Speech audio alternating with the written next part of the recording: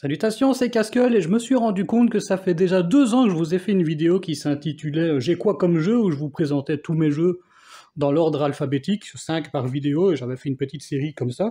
Et je me suis dit, deux ans après, il est peut-être temps de recommencer, donc euh, on va recommencer puisqu'il y a des jeux qui sont sortis de la collection, d'autres qui sont rentrés, d'autres qui n'ont même jamais été présentés, hein, qui sont rentrés, qui sont ressortis tout de suite. Donc euh, voilà, on est reparti, on reprend le même concept, on repart avec la lettre A. Donc le premier jeu, ce sera Aeon's End et c'est pas euh, c'est pas du tout un top, hein, j'ai déjà dit, c'est dans l'ordre alphabétique, mais il se trouve que Aeon's End est un de mes jeux préférés, je dirais dans mon top, euh, top 2, top 3, vraiment c'est un jeu que j'adore. Alors après Aeon's End, j'ai eu la guerre éternelle.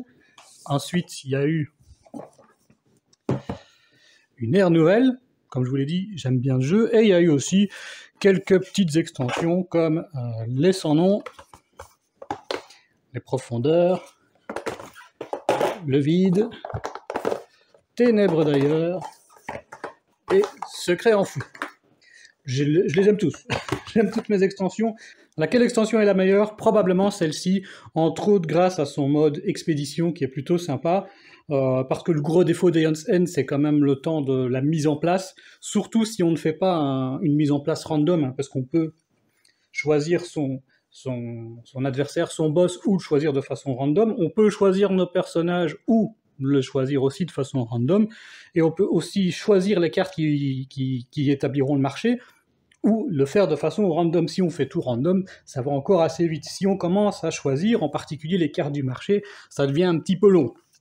Ce qui est bien, c'est qu'avec le mode expédition, qu'on peut faire plusieurs fois, hein, donc quand on ouvre la boîte, on nous propose une première partie qui est le, premier, euh, la première partie du, des quatre parties qui constitueront ce mode expédition. Ensuite, on peut refaire des expéditions avec d'autres boss. On peut mélanger toutes les boîtes. Et euh, ce qui est bien, c'est que donc on aura une grosse mise en place, on va dire, pour la première partie. Et ensuite, les trois parties qui suivront auront une mise en place plus rapide parce qu'on va ranger les cartes qu'on aura déjà utilisées dans une, réserve de la boîte. Donc ça, c'est euh, chouette. Voilà. Donc, c'était le numéro 1, Aeon's End. Numéro 2, Alien, le destin du Nostromo. Dans l'espace, personne ne vous entend crier. Alors celui-ci, malgré les apparences, il est plutôt familial, hein, c'est du 10 ans et plus, de 1 à 5 joueurs, je pense, et je ne dis pas de bêtises. Euh... Oui, c'est ça, de 1 à 5 joueurs.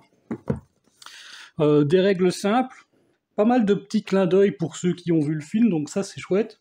C'est pas un grand jeu, hein. on n'est pas sur Nemesis, hein. mais un jeu quand même très agréable à jouer, facile à comprendre, difficile mais pas trop. Donc euh, c'est cool, petit, truc sympa, je vous l'ai déjà présenté, donc vous le savez, mais quand on ouvre la boîte, on voit directement la, tête du chat, euh, John C.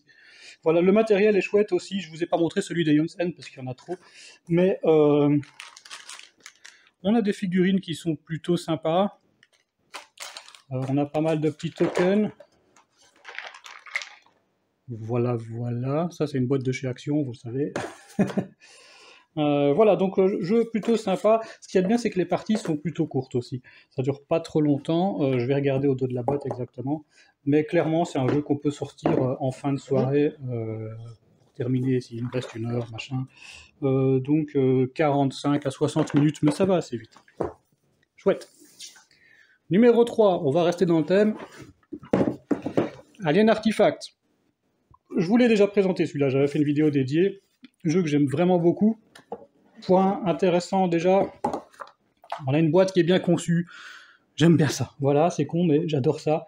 Quand euh, on peut ranger nos cartes dans la boîte, même slivée, que ça rentre et que ça se mélange pas. Voilà, là j'ai juste dû remettre deux cartes, mais euh, voilà. Alors le jeu, je le range à plat. Je vous dis, je le range à plat parce que sinon, euh, c'est le bordel. Mais voilà, c'est chouette. Alors on a le choix de notre personnage, on a toujours une version féminine ou une version masculine. Donc euh, un jeu plutôt inclusif. Voilà, c'est un 4X, en tout cas c'est le thème du 4X, hein, où on va devoir développer un, empire, euh, explorer euh, des planètes pour aller les exploiter. On va pouvoir combattre soit, soit notre adversaire, soit les aliens pour récupérer des artefacts. Donc un jeu que j'aime vraiment beaucoup, qui est passé un peu sous le radar et qui est pourtant très chouette. Numéro 4. Là, on est quand même sur un gros nom. C'est Android Netrunner de Richard Garfield, donc l'auteur de, Magic. C'est une vieille boîte, hein. j'avais déjà ce jeu avant de me lancer vraiment dans, le jeu de société. Le truc c'est que quand je l'ai eu, moi, il y avait déjà pas mal d'extensions de sortie et euh, j'avais pas envie d'investir euh, trop d'argent dans un jeu, surtout que je venais d'arrêter les jeux à collectionner parce que j'ai beaucoup joué moi à Magic, à Yu-Gi-Oh ainsi qu'à World of Warcraft JCJ euh, et je voulais plus me lancer là-dedans.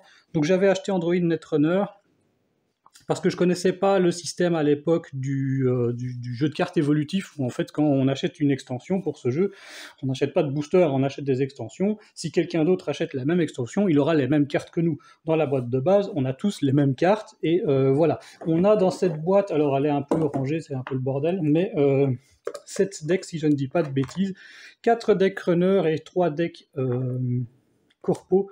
Bon là la boîte n'a pas été ouverte depuis longtemps, c'est un petit peu mélangé, mais ça va. Alors pourquoi Runner et Corpo? Parce que c'est un jeu avec un gameplay asymétrique. Il y a un joueur qui va jouer une espèce de multinationale, genre, euh, Google ou Amazon, qui va devoir essayer de développer ses projets en les protégeant derrière des, ce qu'ils appellent des glaces dans le jeu, donc ce serait plutôt ce qu'on appellerait des firewalls, mais en gros c'est des cartes. Hein. c'est des cartes qui vont servir à défendre, hein, qui vont peut-être euh, avoir une grosse défense ou des pièges, ou c'est un peu comme une carte cachée dans, dans Yu-Gi-Oh au final.